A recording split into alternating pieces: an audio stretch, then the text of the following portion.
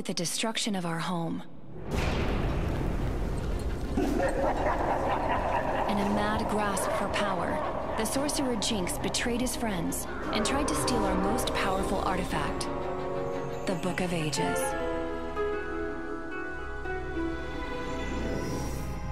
The Guardian Order stood together to fight against him. But in the battle that followed, Jinx banished those that opposed him. His spell scattered the Guardians to unknown worlds, stranding them far from Sky Castle.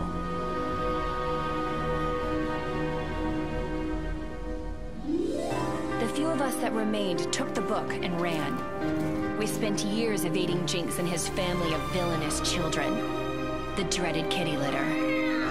But we couldn't outrun him forever. Lyra, stay behind me, Lucky. Little game of cat and fox is over, Swiftail.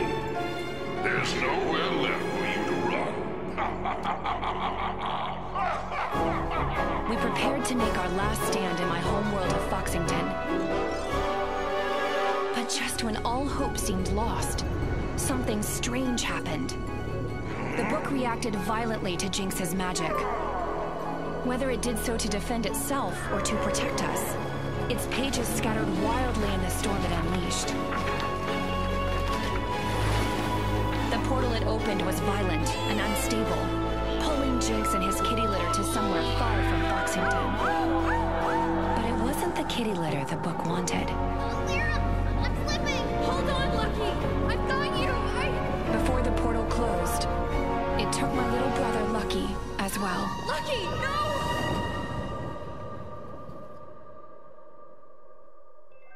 Without the Guardian Sigil, my team can't travel between worlds. We've been stuck here ever since that day, waiting. I don't know where that portal took him, but I know that Lucky is still out there, somewhere within the book. My name is Lyra Swiftail, and I'm the current head of what remains of the Guardian Order. But this, this isn't my story. This is Lucky's tale.